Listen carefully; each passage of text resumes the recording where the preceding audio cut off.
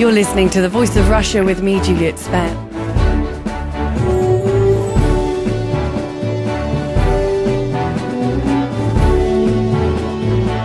Our discussion today starts with the story of Eva Rausing's death. The millionaireess was found dead in the bedroom of her £70 million Belgravia home in London on the 9th of July. The American born 49 year old will be remembered by the world for her drug addiction and her marriage to billionaire heir to the Tetra Pak empire, Hans Kristian. Pictures of Eva in the newspapers and online almost every day range from the beautiful blonde teenager captured in the 80s to the more recent drug addled, gaunt, and frail woman pictured in the weeks leading up to her death. Taking part and joining me today for this discussion on the Voice of Russia is Dr. Tim Williams, a consultant addiction psychiatrist, the Director of Communications and Information at DrugScope, Harry Shapiro, and Drugs and Policy Analyst at the Centre of Policy Studies, Kathy Gyngell, and Marcus Connolley, which isn't his real name, and we've disguised his voice, who's a drug dealer and user in London.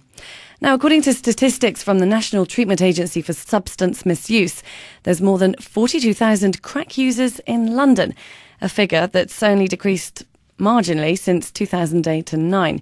So, since cocaine usage in the UK has risen over the past decade, so has the availability of cocaine, for which you produce crack. Tim, I'm going to come to you first. The question is Does being a billionaire make you more likely to become a drug addict? The simple answer to that is no. Um, drug and alcohol addiction is more prevalent in people um, from poorer backgrounds.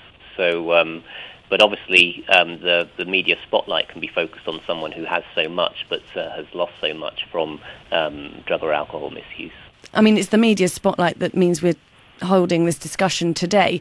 And Kathy, you've written a blog about this. What was your main point of this? I think my main point was that money was her downfall as much as her help. I mean, it's really sad in England today that there's so many addicts um, who do come from poorer backgrounds that can't ever access re- rehab because it's not provided for by the state and it's expensive. Um, Eva Rausing had that opportunity many times as much as she liked, but because she came from such a wealthy family, in a way, in some ways, there were fewer restraints on her. It was almost more difficult in a curious way than if she'd been poor and she would have hit rock bottom in her life much earlier and um, probably the hard hand of the law might have come down on her. And in a way, she was protected from that, and that's very sad. Tim, can you just tell us a bit about addiction and what it must be like to be addicted to crack cocaine? Well, addiction is um, a multifaceted syndrome in itself, and it's fundamentally the the substance that you use um, or even the, the activity such as gambling becomes the becomes primacy, becomes the only focus in your life, and you therefore disregard other elements of your life, be that um, you know your employment or your family, um, those kind of things, purely to focus on your on your addiction. So, I mean, for example, with with this tragic case, um, it seems that she's become uh, you know this long-standing battle with with drugs, and she's pushed a lot of her family and her friends away who have tried to help her over the years and, and very much focused on, on this dependence. I, I, think what's most tragic about this is there seems to be a, um, a dual dependence between, between this couple um, and their, their addictions, and they seem to have, have pulled each other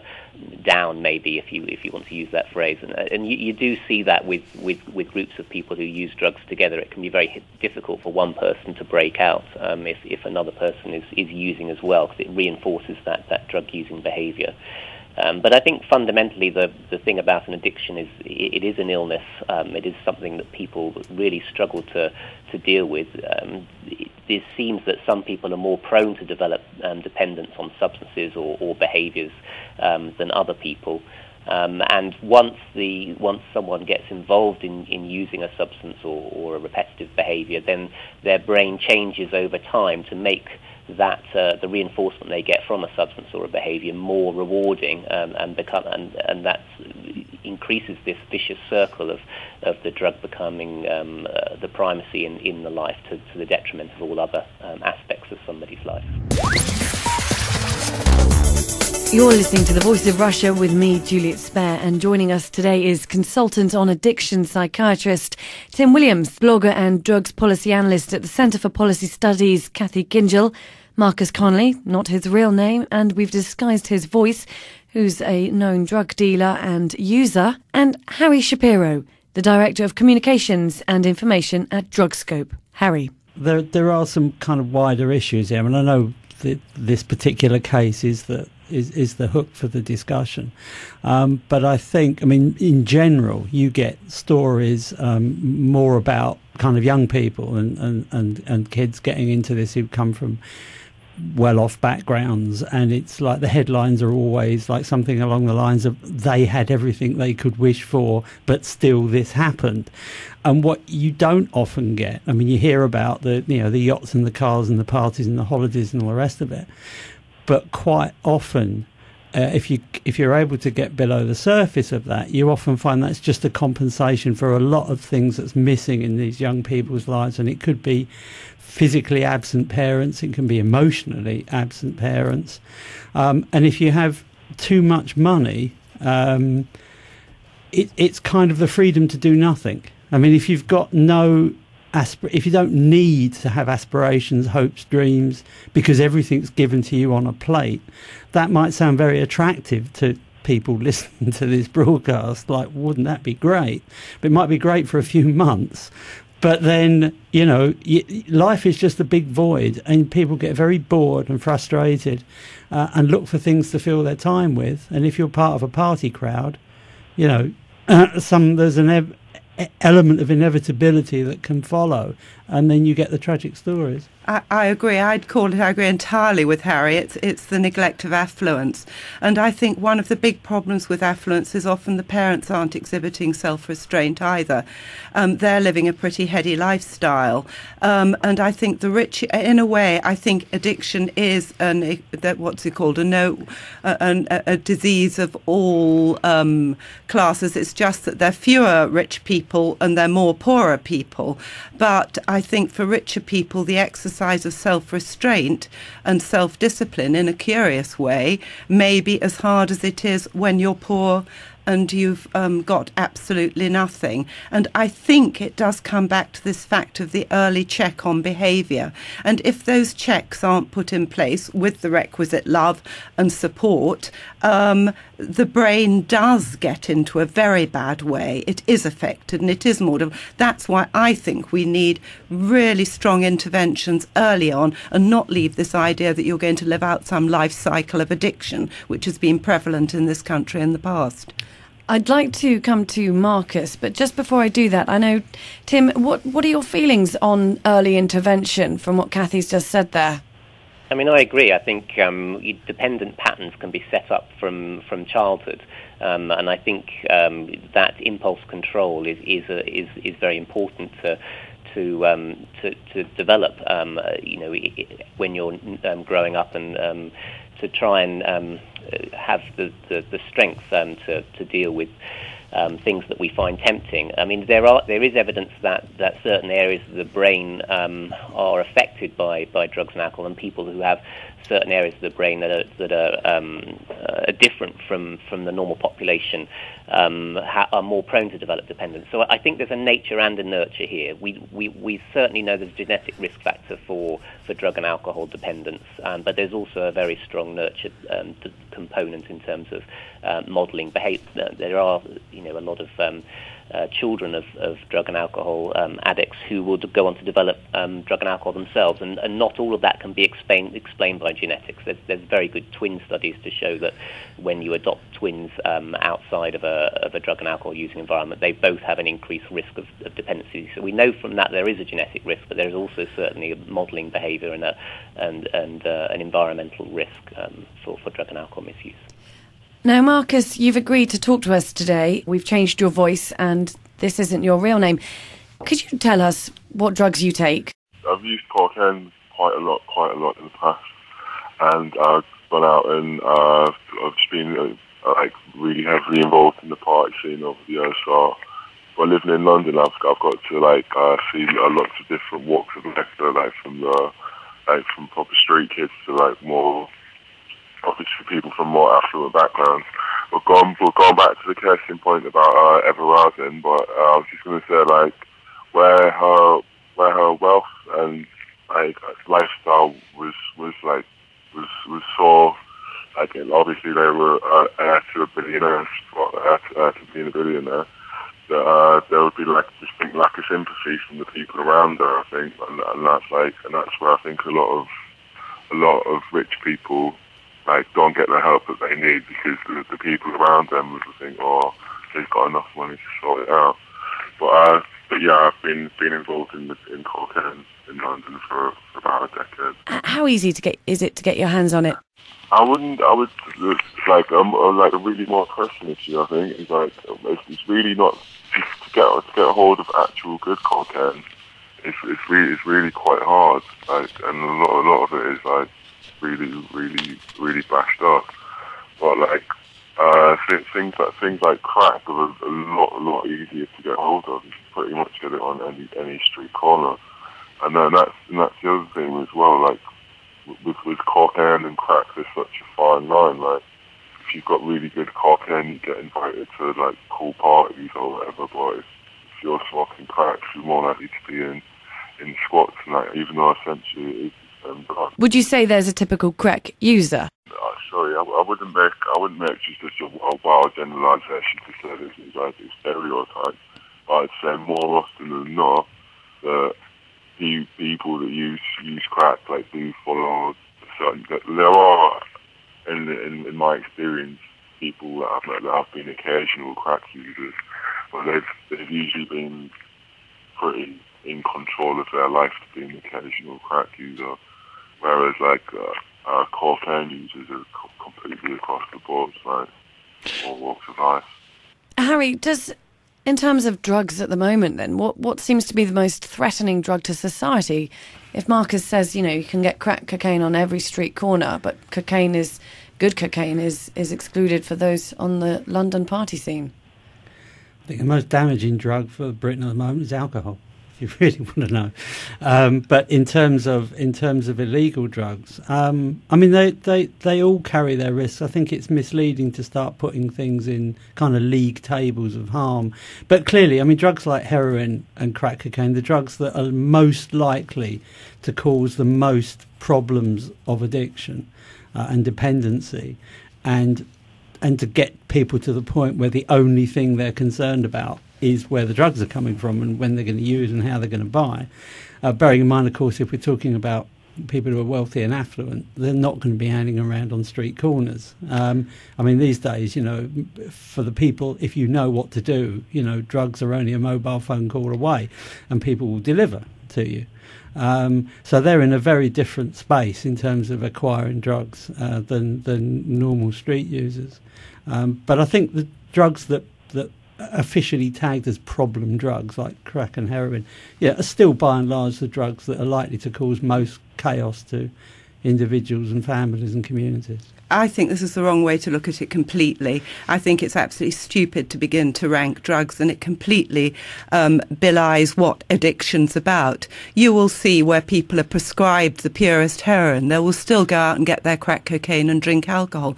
The idea that drug addicts don't use alcohol is ridiculous. The idea that a lot of alcoholics actually don't dabble in drugs is ridiculous. The nature of addiction and the nature of addicts is that you always want more and therefore your whole behaviour becomes risky. Therefore, you need to reverse the way we look at this. To say that problem drug use is the only problem, we shouldn't let it get to problem drug use. It certainly begins with drugs that are considered soft, which in themselves have quite psychoactive um, um, effects in the brain, like cannabis. And this is where it starts. Cannabis can trigger schizophrenia, not necessarily, but we don't know the predisposition in children for schizophrenia. I certainly know at least three boys whose lives are permanently damaged. They're walking vegetables from heavy drug use involving heavy cannabis and cocaine use when they were young. So I, and the fact that they don't die doesn't mean that they're not standing over their mother's bed with a knife in the night when they've gone off their medication. So I think this is completely the wrong way to look at it. Any notion of ranking, it just simply doesn't understand addiction. I mean, I completely agree with Harry. I think um, alcohol is by far um, and, and, above the most harmful um, substance in the UK. Um, I mean, the other the drugs we've actually had a reduction in, in heroin use, reduction in, in cannabis use since it was declassified and uh, unfortunately reclassified um, again in uh, later on. Um, there, there's no evidence of, that cannabis causes schizophrenia. Uh, that's, not causes, but it's that high association and it increases the risk. If you look at Professor Murray's work at King's College, if you read that carefully, and it causes um, high potency skunk as associated with first episode psychotic um, incidents. Professor Robin Murray is, is, on his own in, in that respect. I wonder why he's been knighted and made a sir if he's so on his own. I don't think that's true. I've met a lot of addiction psychiatrists psychiatrists who, and I've gone recently through all the research on cannabis um, for a journal, and there is really a substantial corpus of evidence.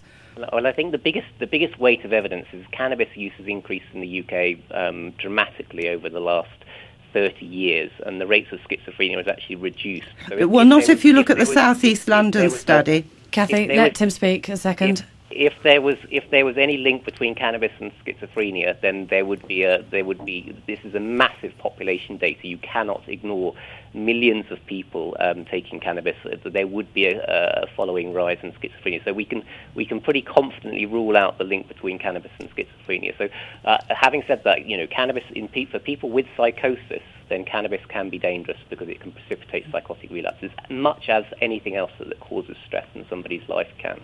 So that's that's the, the fundamental thing that we were we were answering here. Um, and alcohol itself is, is the most harmful drug. And you talked about cannabis being a gateway into other into other drugs. But that that again is not true. Um, alcohol is often the first substance that is that is used by people. That is the first gateway into all of all drugs. So we need to we can't think about I agree you can't think about um, uh, know classifying drugs, uh, illegal drugs against each other, but we also need to consider alcohol as coming into this into the picture.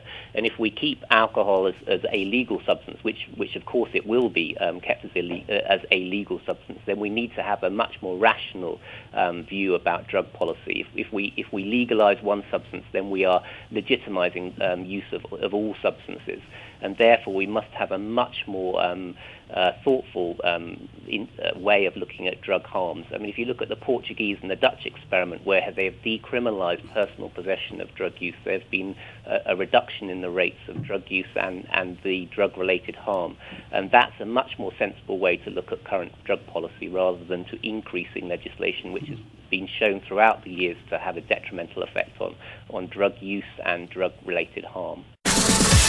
You're listening to the Voice of Russia in London with me, Juliet Spare, and I'm joined by consultant addiction psychiatrist Tim Williams, Director of Communications and Information at DrugScope, Harry Shapiro, blogger and drugs policy analyst at the Centre for Policy Studies, Kathy Gyngell, and Marcus Connolley, who agreed to take part if we changed his voice and name. You've heard what's been spoken about. Does this influence the way you use drugs in any way or the way you turn to drugs in the future, knowing what harm it does do to you, or does it matter? Is it just the party scene you want to be involved with? It's, it's not. It's not just the party scene. Some sometimes we all we all have ways of self medicate, and you know, like my mother, she makes she makes a cup of tea, or like I don't know, we all have our different rituals and that. Going back to what we said before, that I was like I, I wholeheartedly agree with um, yeah, Tim. Yeah, alcohol's def- definitely been the, the main gateway drug, and if you have a few drinks, it always makes you up. You, you think everything else is a great idea. We've gone on with what we're saying in Portugal. I've got friends friends out there and friends in in Holland as well. And when, when I'm out there, the crime levels, the general just uh, life life of people out there, they do seem a hell of a lot happier than as well. Harry, what's your reflection on obviously alcohol being classed as, as one of the most harmful? Well, I mean, I think you know if you just look at sort of bald statistics on kind of drug deaths, you know, you've got tens of thousands of alcohol-related deaths, and it isn't just kind of overdoses like you, you get with drugs. It's kind of long-term health problems. Uh, I mean, they're known to everybody. It's no big, big surprise to say, you know, alcohol and you know tobacco combined put all the drug deaths kind of well in the shade. Um, but you know, we do have changing attitudes to tobacco. Um, far fewer people smoke these days than used to. Uh, it's much harder to smoke in public now than it used to. So it is possible, you know, with a combination of kind of education and legislation um, and kind of just culture really to, to change people's attitudes to substance misuse without you know going to one extreme or the other we, we're creeping onto legislation here, mm. and I know, Kathy, in a blog you wrote, you, you mentioned that in London, Ava Rausing and Hans were able to pursue the, the drug addled hedonistic lifestyle that would not have been tolerated in Sweden. Certainly wouldn't But Can I just come back on the alcohol? This is sort of a bizarre argument because we've liberalised all our alcohol laws and we've expanded licensing capacity so dramatically. So it's the liberalisation of alcohol that's caused the problem. So I don't know whether Harry now wants to prohibit alcohol. I certainly believe we're far too liberal with alcohol, but I'd also put it to you that the number of drug of alcohol deaths compared with the number of people in the population taking alcohol isn't disproportionate to drugs. In fact, the number of drug deaths is rather higher. Um, but to come back to Sweden, um, Sweden experimented with an extremely liberal uh, approach um, of effectively decriminalising drugs in the late 60s, early 70s, I think, if I have to get this right. And it was an absolute disaster. So Sweden's gone through this process and then decided they would take a much more restrictive approach, which has been very successful, particularly in keeping young people off drugs. And their alcohol problem, by the way, is not bigger than ours again, Holland, this is ridiculous. 76% of the municipalities in Holland have a zero tolerance drug policy because they have devolved government. There are no cannabis cafes in 76 um, percent of Dutch municipalities. Cannabis isn't actually decriminalised. The cafes are being closed down rapidly because they're not wanted there because they attract so much crime. And the Portuguese data has been absolutely spun out of proportion by the Cato Institute that was highly selective in their use of statistics. So, you know, there's, there's sort of lies, damn lies, and statistics in all of this, and it makes debate very, very difficult. I think you. The other problem with a lot of this is that people try and, whether it's Sweden or whether it's uh, Portugal, they try and superimpose one culture on top of another, and it's it's very difficult to do that. Um, quite often, when you have particular drug epidemics or panics in America, people assume that the next thing that's going to happen is that we're going to we're going to get the same thing, and quite often we don't. I mean, various drug epidemics in America never appeared here at all for all sorts of reasons to do with, with culture availability and, and, and a whole range of issues. I think it's more complicated than just assuming that because something appears to work in one country that it will automatically work here, whether it's a regime that's more restrictive or more liberal. Are we doing enough about addiction, though? We've talked about, you know, the drugs laws, the legislations, and the culture of drugs, and we've mm. heard from Marcus and why he's involved. You know, what do we understand addiction? Does this story of Ava Rausing on the headlines and in the newspaper almost every day help society understand what needs to be done about addiction? Mm. Tim? I think we are, as a society, very poor in funding um, research and um, help for people with, with um, drug and alcohol dependency. And the most fearful, um, worrying some data is that um, you know the, the funding for alcohol addiction is, is dwarfed by, by drug funding, whereas the, the harms from alcohol are so much more. For example, we have a 500% increase of, uh, of liver-related deaths, 85% of which are directly due to alcohol in this country, whereas all the other causes of death, cancers, heart disease, and diabetes, have been pretty much the same over the last 30 years. So there's a national epidemic of people dying from, from alcohol disease um, 500%. And, and if, you know, if, if diabetes deaths had increased by 500% over the last 30 years, there'd be a national outcry. There'd be government strategies to introduce better diabetic care. So, so why is it, this not happening with, with alcohol? And, and I would say this is, this is the alcohol industry. They're extremely good at, um, at obfuscating uh, um, data about alcohol and, and um, uh, making the, the message about alcohol confused. So fundamentally, we don't do addiction very well in this country. Um, we need much more funding, and particularly that much that needs to be focused on alcohol misuse. And we have to have the policies to to go, to to follow that. Um, funding for, for treatment is is almost like um, uh, shutting the gate after the horse has bolted. We need government needs to set an example. They need to be much more clear. I, I completely agree with Kathy that we need to be more restrictive on alcohol. The Swedish experiment on alcohol is is is very good um, in terms of reducing the the availability of alcohol and increasing the price. That's the fundamental thing. That that will do much more than any treatment um, that we can do in as as addiction specialists um, for a, on a population level. And I agree there needs to be a rationalisation. We need to increase the the the, um, the restrictions on alcohol and, and, think about drug policy in a in a more innovative way. What positive lessons can the media, the government, teenagers, addicts? And society learn from this death because it has had a lot of column inches. Well, it, it has, but you know, um, although everything's online these days, it's still going to be tomorrow's chip paper.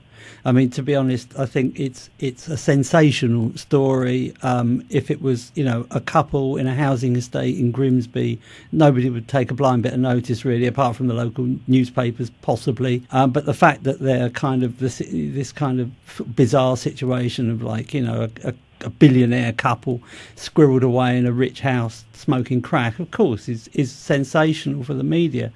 But what you learn from something like that in terms of general addiction policy of treatment or anything like that, I think is, is minimal.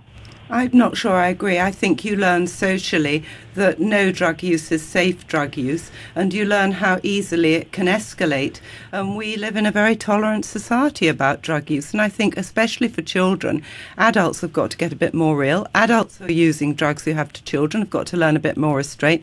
We are a culture of excess in all ways. We demand immediate gratification for everything, and the law effectively allows us to do it. So I think it really means, as a society, we need to take take a long, hard look at how we proceed and whether we can afford to be so lax and liberal. Tim, finally, De Column has written about addiction. Help, help us understand it. I mean, anything that highlights the dangers of addiction is, is useful. I think sometimes it can be it can be difficult when it's a, a sensationalist story um, such as this. Um, and, you know, for example, the the media very very much focus on anything that's related to ecstasy, but very minimise um, um, reporting on anything related to alcohol and and heroin. So there's lots of heroin deaths or, or, or other you know substance deaths in the UK, um, and they don't get picked up on in, in the media. But I think you know any any opportunity for us to, to have a debate like this and highlight the importance of addiction in our society is, is a useful tool for, for a, such a tragedy. Marcus, a final word from you. If they have if they have a, a, a tendency to be an addict, it needs to be addressed early on, like rather, rather than just saying it's society's fault or it's the money's fault or anything. I think the people around, we all need to be responsible for each other in that respect. And I think that's the one lesson we can take for it is that we should, no matter how rich or privileged we think people are, people do do suffer in their own ways. So I'd like to thank all my guests for joining me today. The consultant addiction psychiatrist Tim Williams, Director of Communications and Information at DrugScope Harry Shapiro, and drugs policy analyst at the Centre for Policy Studies Kathy Gyngell, and Marcus Connolley, who agreed to take part on The Voice of Russia today. Thank you very much.